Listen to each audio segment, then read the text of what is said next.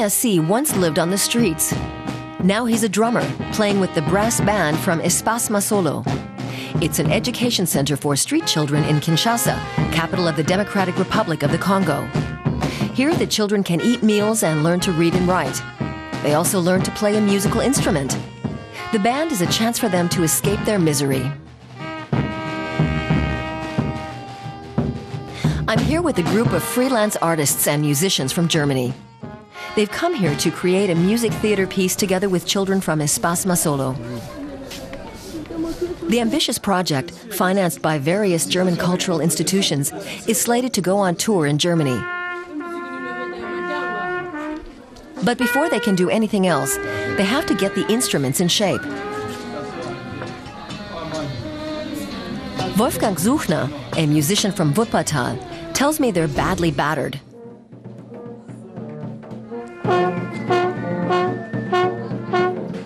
It doesn't take me long to understand how worlds collide.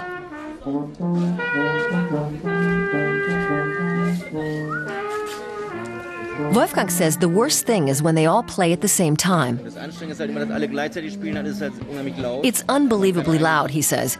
He can't hear them properly, and they can't hear themselves or each other. But he says they are used to it, whereas he, a European musician from Wuppertal, isn't. Nevertheless, it's coming together.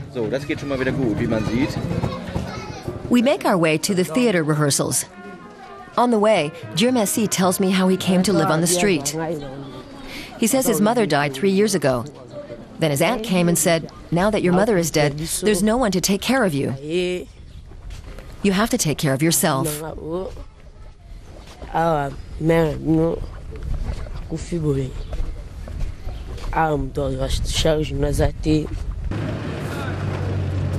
We walk past a burning trash heap. There's no proper trash disposal. I'm shocked at how run down the place is. Director Stephanie Oberhoff tells me the theater piece deals with the origins of the catastrophic conditions in the Democratic Republic of the Congo. It goes back to the brutal colonial days and the 30 year terror regime of dictator Joseph Mobutu. Steffi tells me about the problems they have in putting on the show. She says there's no electricity and water is scarce. It's not easy to find a space in which one can concentrate, where there aren't too many people. Zu organisieren, in denen man sich konzentrieren kann, wo nicht allzu viele Leute sind. Here is where the rehearsals are taking place. They let me participate in the warm ups. I still remember them from the theater club at my school. Lambert Mousseka says the youngsters learn a lot about their own history from the theater piece. He says if the country hadn't had such a brutal past, the situation today would be different. Euh, euh, when they talk about the past, the children understand that their lives are the result of those terrible times. Nous sommes seulement le résultat de tous ces mauvais temps qui a existé avant.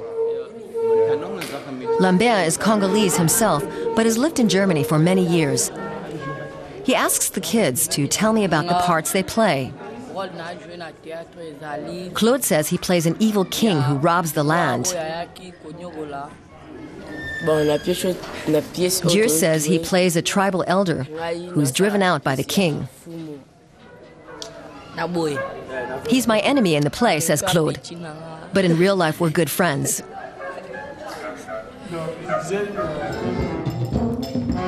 Few of these young people know their exact ages, let alone their birthdays. But to travel to Germany, the young artists need passports. Kathy Monden, the head of Espace Masolo, simply assigned ages to them. Kathy guessed at Claude's age. Then she gave him a birth date of April 18th. That's her birthday. And now it's his too.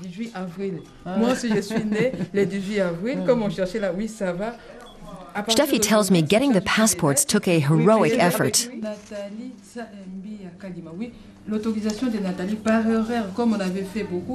Beamten, die zum Teil nicht bezahlt werden. Officials, some of whom don't even get paid, had to be bribed, she tells me. Diese tollen Dinger jetzt So it was a crazy effort to get the things processed. Wahnsinniger Prozess. Jetzt fehlt nur noch Now all they need are the visas. The youngsters spend their days at Espace Masolo and their nights at a shelter for street children. I ask Dieu merci to show me where he sleeps, so he takes me home with him. It takes a half an hour to get there by taxi. Normally, he does the whole distance on foot.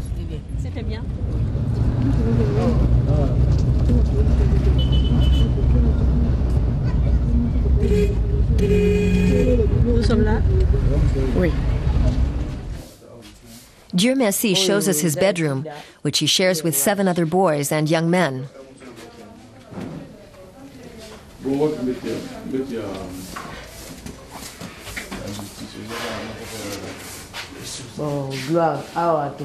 the kitchen, he asks Glore what he's cooked for them. Manioc leaves is the answer.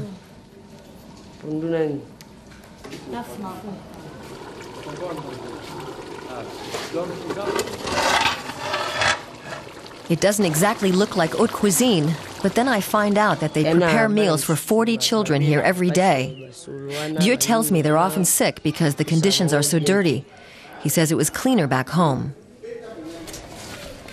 My time in DR Congo is almost over. The children have a few more weeks of rehearsal. I'm looking forward to the German premiere when we'll get to see each other again.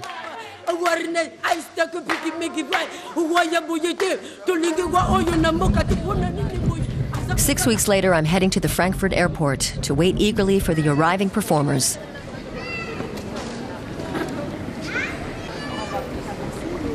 They all made it. It was touch and go because they only got the visas at the last minute. We take the train to Bochum. There'll be a few more rehearsals there. But before that, they get to have a good night's sleep. The world premiere of King Congo takes place in a former church. I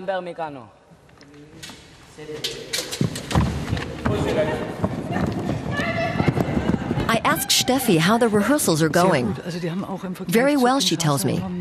Now that they're here, they understand more and more about how theater work proceeds. Everyone's astounded at how well it's going. Alle extrem verblüfft sind. And now it's down to business. In a sold out house, no less.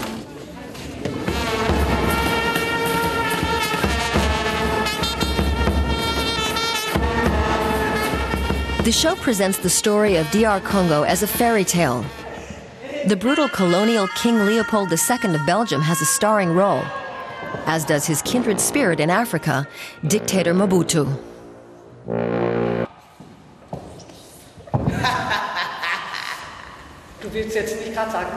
In this section of the play, Stephanie Oberhof says, Your family was locked up, you were sent into the woods, told if you didn't produce enough rubber they'd rape your wife, burn her alive, chop off your children's hands, and put your head up a stake? No, I can't translate that.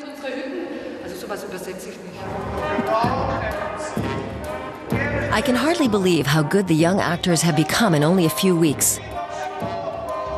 It's an auspicious debut for King Congo on tour in Germany.